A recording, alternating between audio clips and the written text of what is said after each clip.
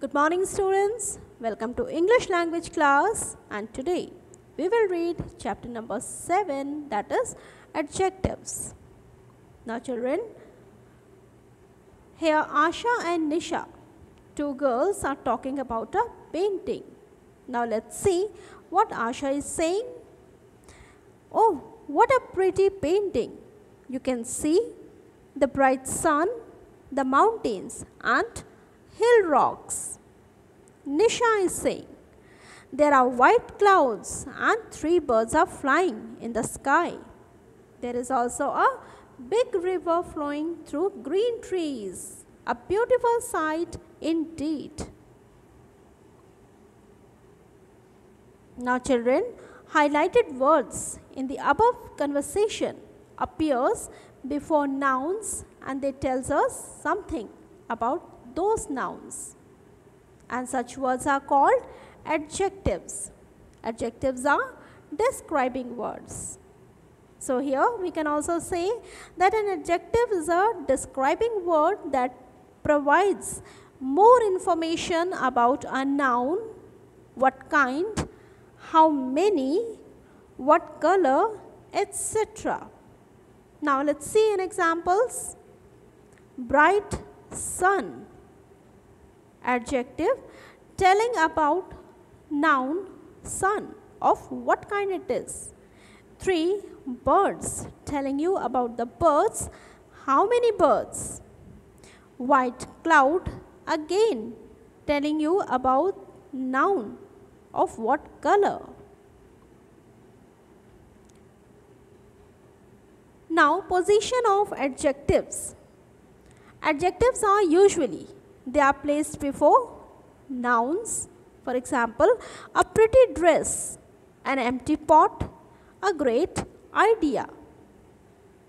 Some adjectives are placed after verbs also. Arun looks smart in that dress. Here, looks is a verb and smart is an adjective that is placed after verbs. In second sentence also similarly the apple tastes good. The cow appears to be old. The idea is excellent.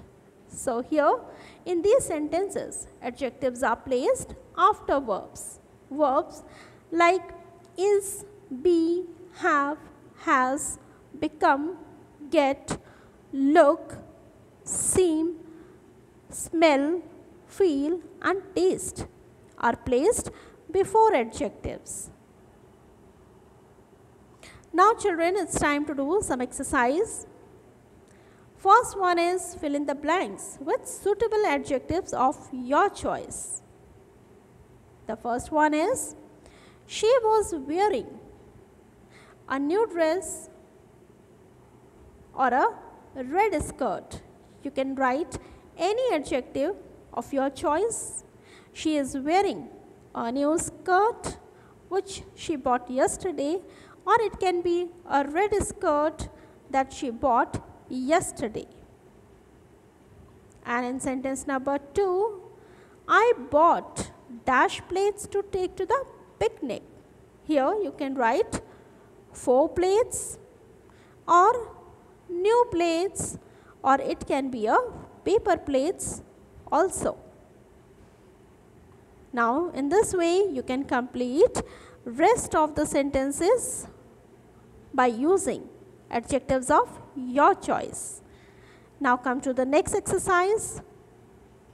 Here children, you have to rearrange these jumble words in the correct order so that they form proper sentences.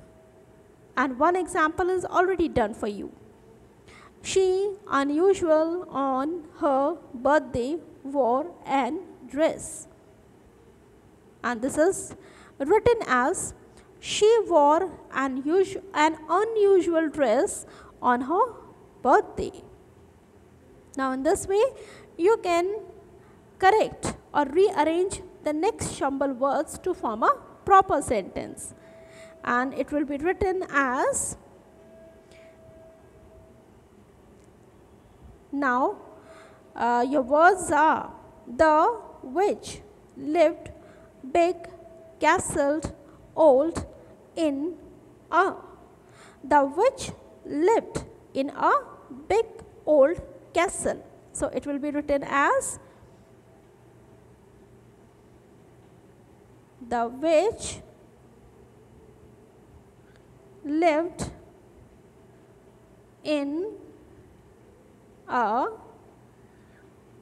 big old castle. So, in the similar way, you have to jumble words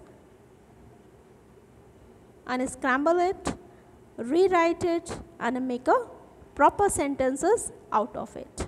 Okay children? Thank you.